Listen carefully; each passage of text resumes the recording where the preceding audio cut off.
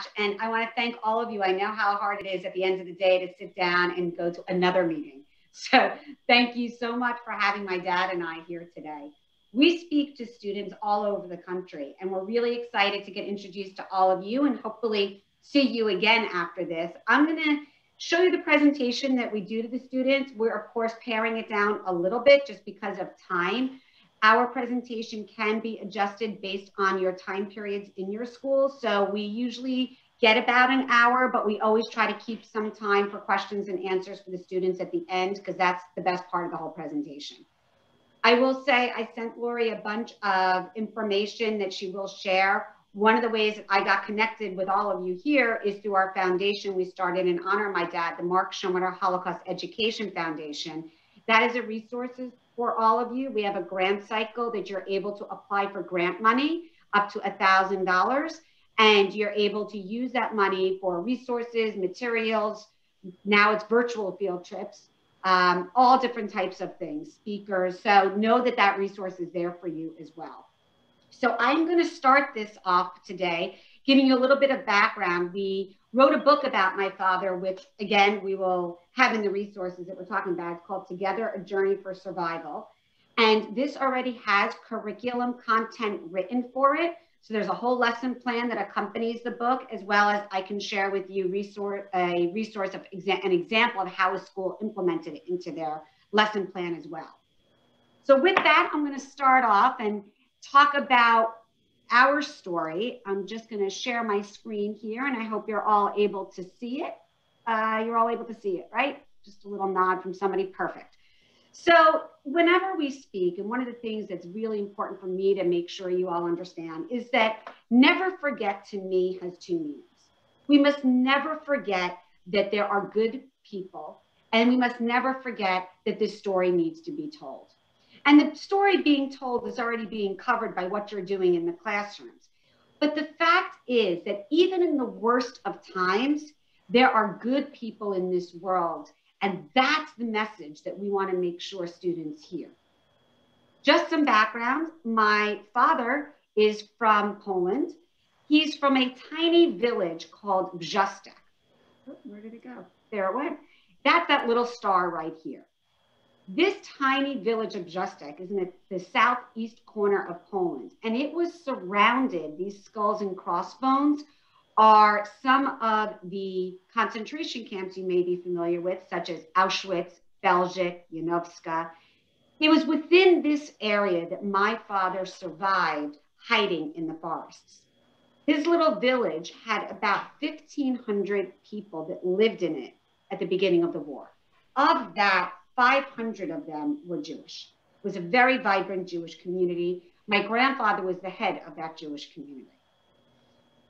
By the end of the war, and by most accounts, of those 500 Jewish people that lived in this village, less than 10 of them were still alive, of which three was my dad, my grandmother, and my aunt.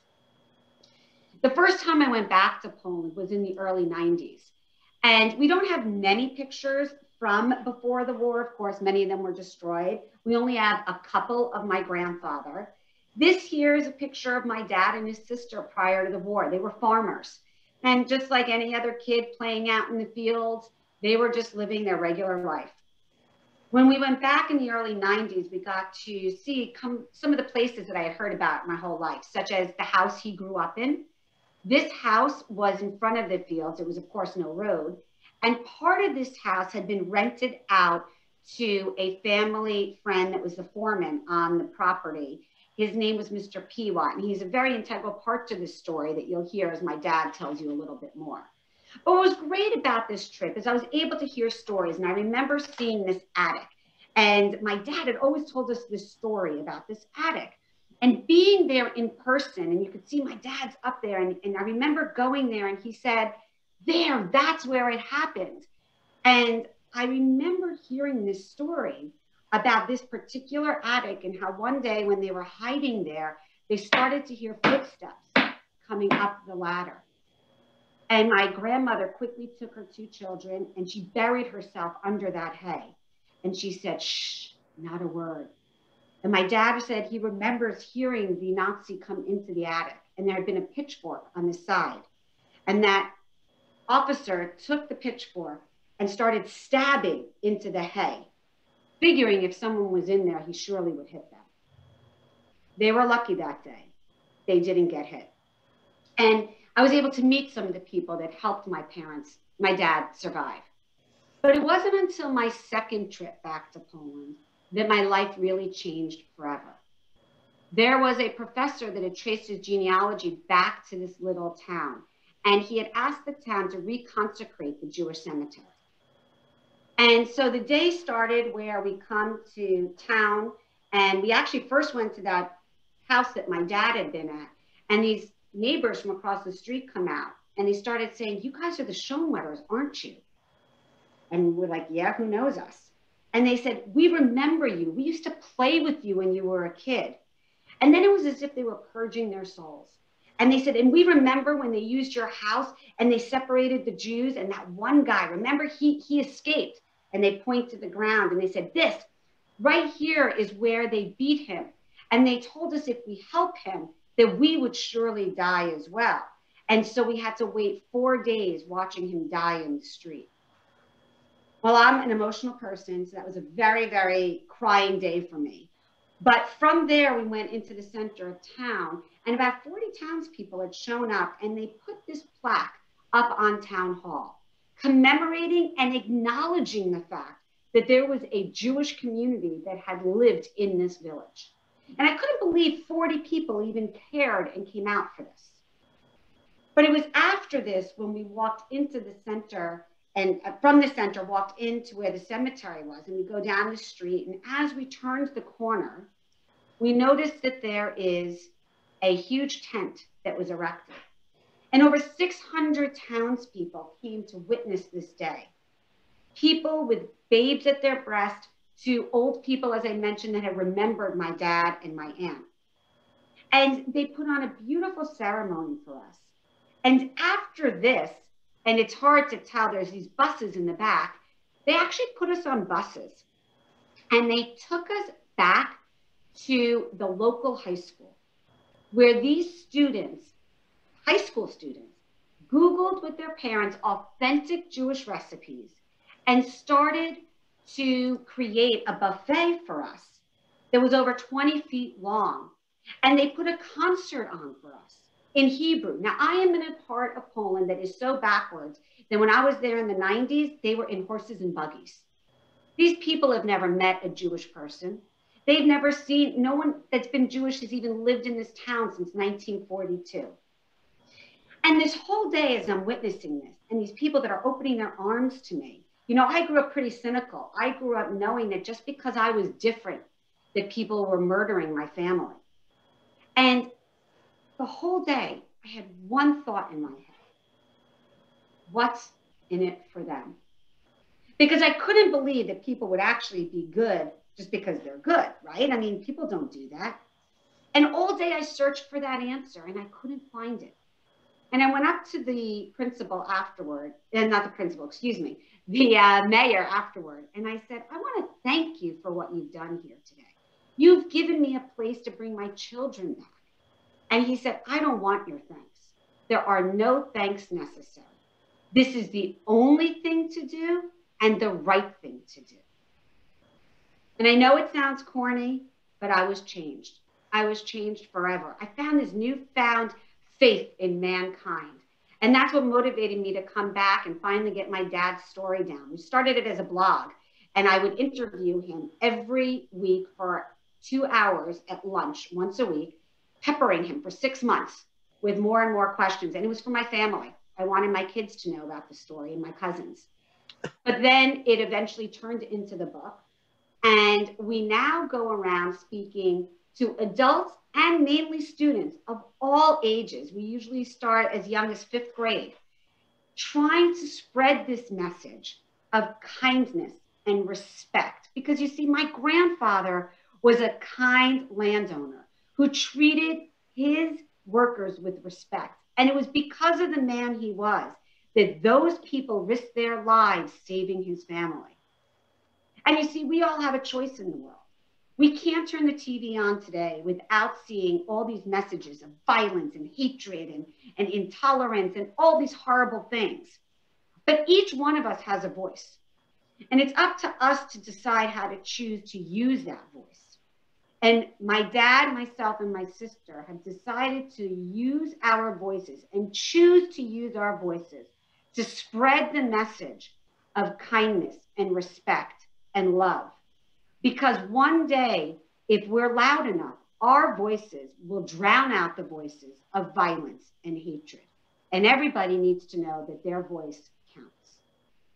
so with that, I'd like to introduce my dad, Mark Schonwetter, who's going to share a little bit of highlights from his story, and then we're going to open it up for questions and answers as well. So with that, Dad, take it away. Thank you, Ann. Good afternoon, everybody.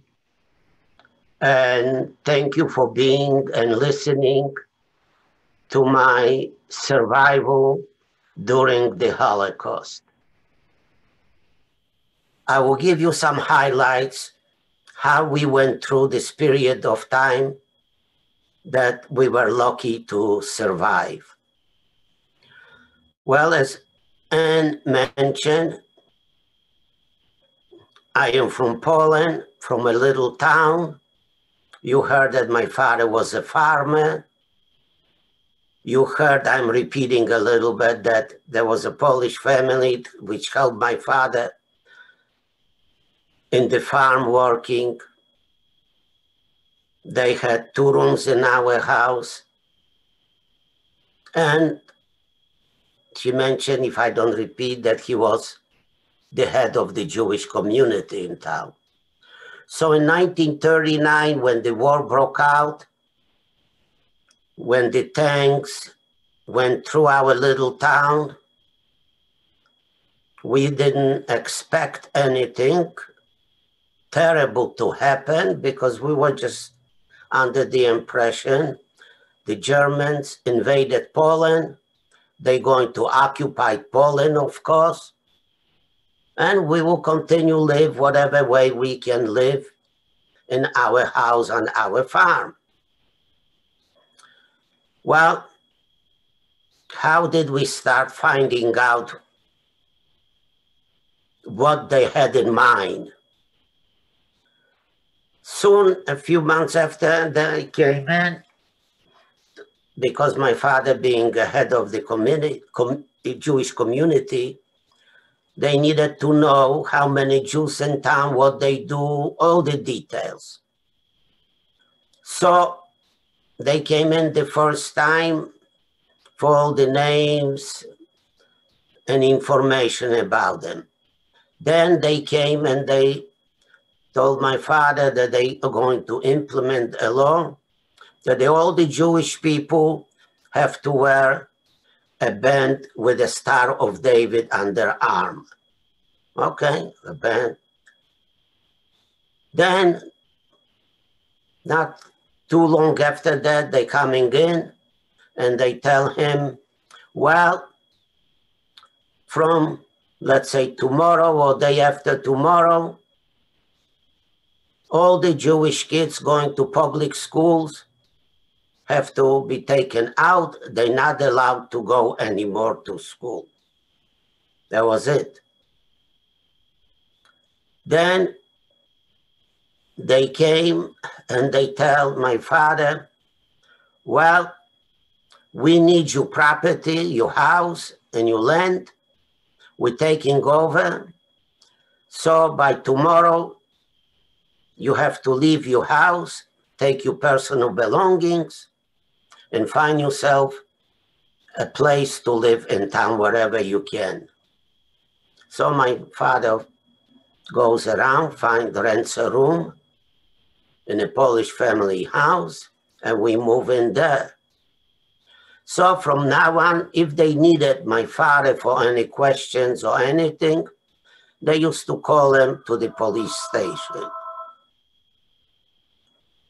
So every so often he would go, then came back home. One day, late in the evening, uh, he's still not back. Well, my mom is waiting, waiting, but she says he's not back. Then all of a sudden, she hears a knock on the door, opens the door, and who is there? The wife of the Polish chief of police. And she tells my mom, listen, it happened that I overheard a conversation between my husband and the Gestapo. And they mentioned to my husband that in a few days, they're going to take all the Jewish people out from this town somewhere. I don't know where, what they're going to do. So I suggest you take your two kids and run away from here. And she left. Well, mom didn't know what to do, but she decides she's taking me and my sister. She take the few little things with her, whatever we didn't have much anyway.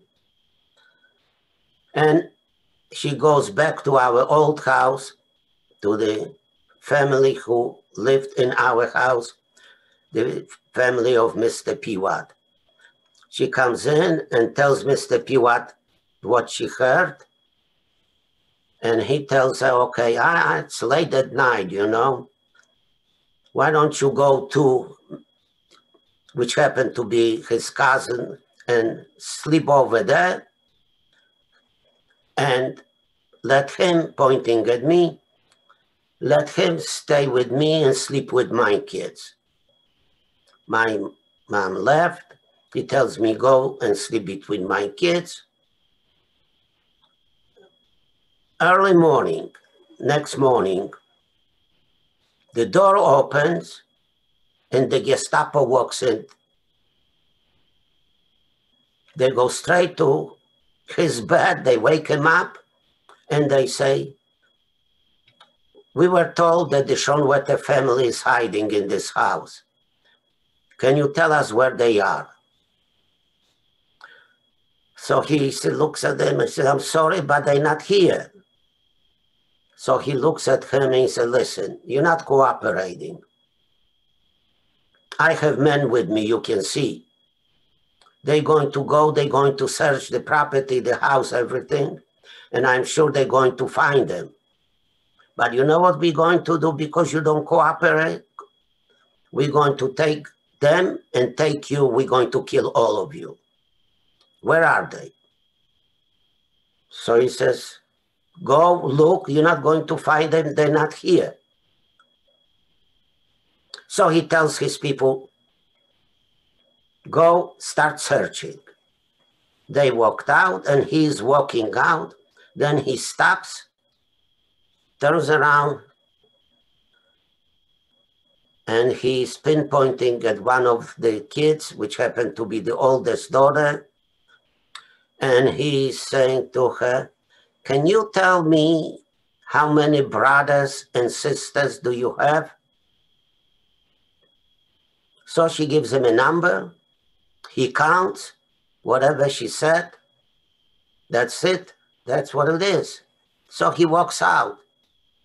Well, you can imagine I was the luckiest man in the world that she was smart enough to include me in the count of all the kids.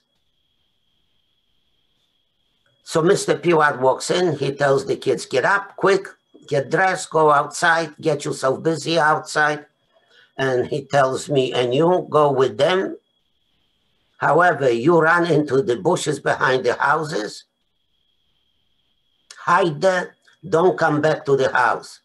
Just sit there and wait till I come and I pick you up. And that's what happened. I was sitting there. After a few hours, he came in, took me, we went to my mom. And he says to my mom, listen, I think would be the best thing for you if you go to a ghetto. Nobody from this town, the police or the Gestapo would even suspect to think that you went to this town. Where is this ghetto? So you live there, you'll be safe there. And says, okay, that's what you suggest. Let's do that.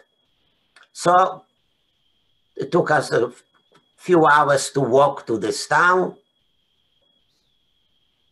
Walked into the ghetto. Mom takes two of us by hand and we start walking around looking for a place to live.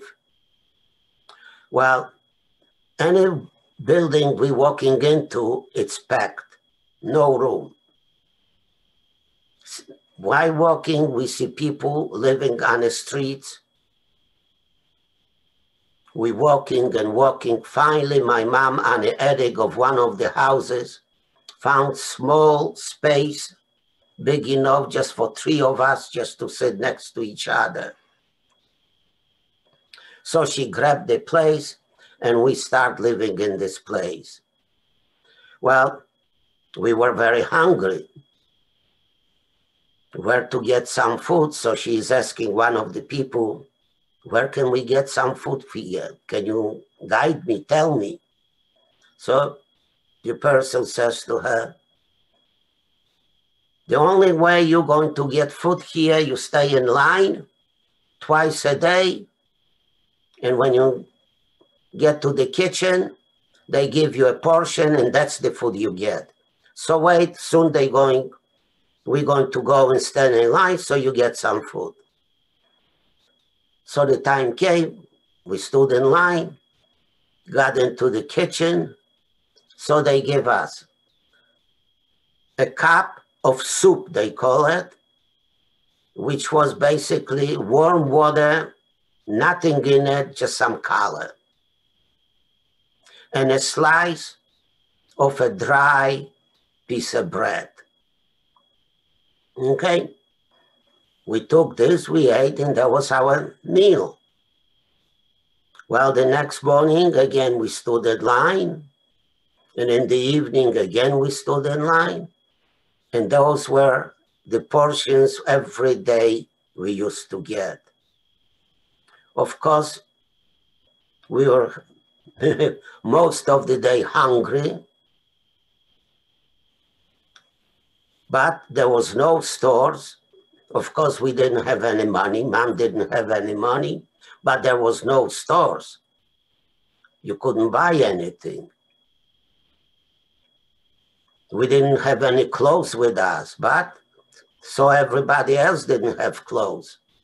Every day, day and night, in the same clothes.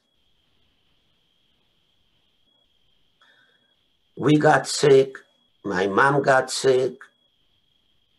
There was no medicine that you go to a drugstore and buy something. There was no such a thing. If you survive, was good, you live.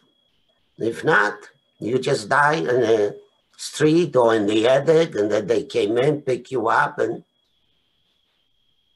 wherever they took you, throw you away somewhere we had lies. My mom cut our hair.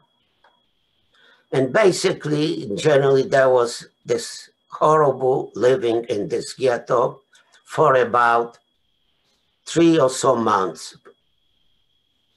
Then rumors were going on that they're going to liquidate the ghetto. And one day a little boy comes in and he says to my mom, a man is on the other side of the fence. He asked me if I can find you. He gave me the name. Let me show where he is. So mom goes, and who is that, Mr. Piwat again? And he says to my mom, bring you two kids and I show you how to get out from here, quick. Okay, my mom ran, takes me and my sister, brings him over, brings us over. He takes a blanket, he throws over the barbed wire, and he tells my mom, pick one kid at a time and throw him over. Well, my mom tells him, uh, I don't have strength. I'm weak. I, I, I don't think I can pick him up. So he says, I know you can. You're strong enough to pick him up. And besides, take a look at those two kids. They're skin and bone. There's no weight there. You can do it. Just do it. So my mom tries, and she did. She picks me up, my sister throws. Then he says, and you climb on top, jump over, and I catch you here. And that's how we got out from the ghetto. He took us into a little house next to it. And he says, okay, take your clothes off. They're dirty and smelly. You cannot walk in the street like that. I have clothes for you. Here is some food, eat, so you get some strength. And then let's go. And that's how we walked out from this town. We walked again for a, quite a bit. We went to a village. He brought us to a, one of the farmers there and tells the lady, you promise to take some people that I bring, here they are. So she looks at mom, she looks at the two kids, and she says to my mom, well, if I take you, you have to make sure one thing here, that those two little ones, they're not allowed to talk, not to cry, not to laugh, not one word. They have to be quiet constantly because I'm going to put you on the attic and you're going to live there. You're going to there, be there day and night. You're not going out or any place. You're just going to hide there. Are you promise? Can you can you do that with them? So she says, yes, no problem. I guarantee you that they be quiet. So she says, okay, go up and cover yourself with hay and you live there. And that's what happened. We went, we lived there. She used to bring us food. Happened to be there was already like in the fall. So we were staying through the whole winter in her place.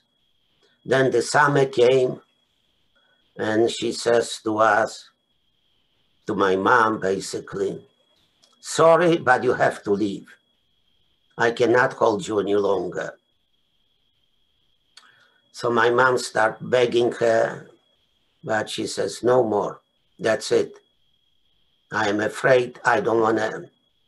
Summer is coming, people walk around. I don't know. They may know this. No. Can you suggest? You know somebody, you recommend them. No. But I tell you what, she says. Why don't you go to the forest? It's a tremendously big forest. Plenty of rooms to walk around there. Why don't you go and hide there?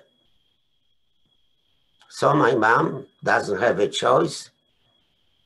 We walk in, walk in, walk in the forest, we found ourselves a location between the bushes, comfortable location where we can hide in the bushes.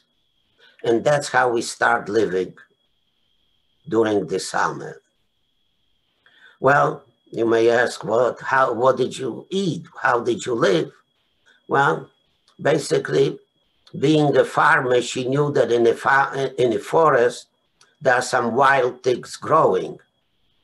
So she says, to us, I'm going, we're going to walk around and look for mushrooms, berries, or whatever it is growing and it's eatable.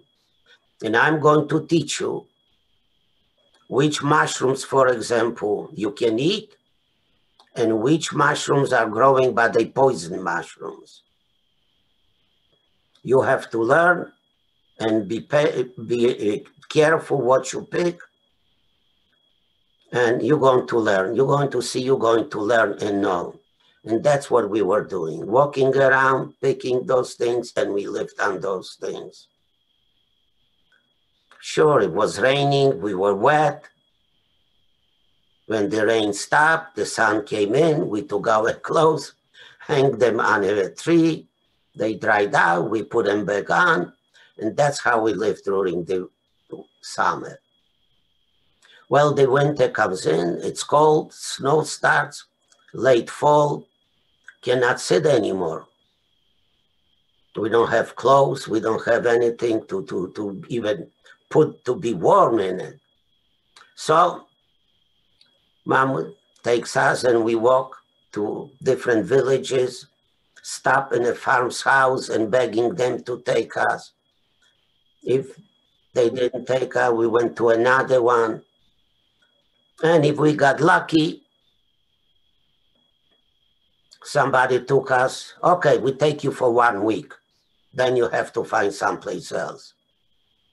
So she made sure that we behave, we quiet and everything. So sometimes this one week became two or three weeks. But then unfortunately we had to leave, again, walk around and find some other place to live. Then when the summer came, spring, summer, we went back to the forest and again, we lived the same way. Well, again, the winter came. Again, we walked around and looking, begging farmers. Let me give you example. Like one, it happened to be one winter. How we, uh, how we were hiding. So we walk into this farmer uh, and he says to mom, if I take you I have to make sure that nobody will suspect where you lived or anything here. Because you know, if somebody is going to find out and the Germans come in, we're both in trouble. So let me think, come back in a couple days or so and let me figure out something. So when we came back, you couldn't wait for those two days already to pass. So when we came there, he takes us to a pigsty. And he tells mom, take a look. I dig here a hole. But as you can see, the hole is very shallow. If you can go in here and you cannot even sit, you have to lay down and that's it. If you feel comfortable to be in this condition here, you can stay with in, in my place. So my mom says, of course, of course, no problem, I will. So he says, okay, step in, lay down. That's what we did. He takes pieces of wood, covers the whole top. Then we hear he's throwing hay on top of it. And then he brings in the pigs. And here we are. We in the hole, the pigs on top of us. He made a little hole on his side so he could shove in some food for us. And that's how we live through the whole winter. Just sitting in this hole. Well, but we were lucky that we had a location and we were not freezing in the snow. This happened to be after we got out from there again in the spring. We went back to the forest. But soon after a month or two months later, we start listening and we heard movement of trucks, tanks, then explosions. So we start hearing, oh, oh, something is going on here. We cannot stay here anymore. So we moved out as much as we could to the side of the forest, closer to the village. And then we see people, groups of people going on this road. So my mom figured probably the people escaping the front line. So she takes two of us and she explains to us that from we're going to join one of the groups. Wherever they go, we're going to go with them. And she started gave, teaching us, explaining to us that from now on we have to be refugees, Polish refugees. And if somebody will be nice enough to take any of us or group of us, we're going to live in a house. So make sure that, and she's showing us when you sit down and you eat, we everybody's going to pray. You have to pray. You have to cross yourself. You have to learn and listen how they pray and listen so you can learn this and then you can repeat the same thing. And when it's Sunday comes in, we're going to go to church. So make sure when you go to church, and she explained to us when to get up, when to kneel, and how to pray. And we walk with it. Then we just join one of the groups. And one of the farmers took us and we start living with the farmer as refugees. And we lived like that through the winter. And then 1945, end of February, all of a everything quiet down around us. And then one day we see some soldiers walking. And we see that they dress differently. They're not German uniforms, different. We didn't know who they are. What is it? When they got to the house, they speak to us. Nobody understands one word what they say. But then one guy comes in and he starts speaking Polish. Oh. And he says, we are the Russian army. We liberated you. For you, the war is over. Now we make sure that there is no more Germans in the area here. So you can go do anything you want. You're free. Well, we just couldn't imagine how happy we were that we somehow survived the whole thing. And this was the day when we got liberated. So I think I will stop right here. And I am available for any question you have. You want to ask me if you do have any, I'd be more than happy to share with you anything else what you're interested in. Thanks again for listening. Thank you very much, Mark. Um, we actually already have a question in the chat. So if you have a question, if you want to just put it in the chat, I can um, uh, communicate that. So we have uh, one question from Lee, and he wants to know um, for for every farm that did take you in during the winter for a hiding place, did you have as many turn you away? Were there were there a lot of people who turned you away? Well, that's not that many people turn us away. Again, I want to underline that my mom was the bravest woman in the world. Mm-hmm. And I don't know, but she had this feeling, she had the knowledge, and she could understand people. Why do I say, for example, when we went into a farmer, and the farmer said, Oh, no problem. Why don't you bring the kids? I, I understand. Yeah, you need a place. It's too cold. Come in and you stay with us. But always mom went by herself. We used to stay a little bit away and wait for her. She told her, You stay here, I be back here. So she told him, Okay, let me go and get the kids. And she never walked in anymore to this house. Now, when she went to another house, and the people said, Well, I would like to take you, but I'm scared. You know, if they will find out that you're here and tell the police, they would come in and they will take you and me So I don't want to risk my life and your life here.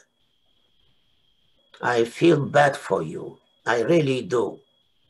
But you know the circumstances. So then my mom started crying and begging her, take me for a week. Then I go and I look for some other place. Okay, for a week, but no longer. So we went and we stood for this week, but sometimes this one week became two or three weeks because we behaved. We didn't talk, we didn't do any, we've been quiet. So somehow they let us stay longer, and then we went and had to look for another place. So why did mom were making this decision? Because the Germans announced that if you're going to show us where the Jews are hiding, we are going to give you a pound of sugar and maybe some a can of something with it. So mom knew if somebody is so anxious to take us, they probably waiting for this pound of sugar. That was her way of thinking. So that was the difference where we went and who was behave, how someone was behaving. My mom was making the decision. I don't know if sufficient or not my answer, but. Yes, thank you, Mark. So I have another question. How old were you and your sister when you went into the forest to hide? I was at that point about probably six and a half, close to seven. My sister was about five, four and a half. There's a difference between she's younger than me. Right. Okay. Um, so the next question is, at what point did you find out what happened to your father?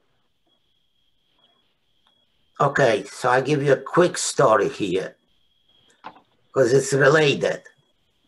While we were hiding in the forest, Mr. Piwat used to occasionally come and bring us a loaf of bread. And if he couldn't make it, he sent his son-in-law and he brought us something to eat. One day he came in, and my mom noticed that he's wearing a pair of shoe, shoes, and she's asking him, Where did you get those shoes? And he didn't want to tell her, so they go back and forth, back and forth.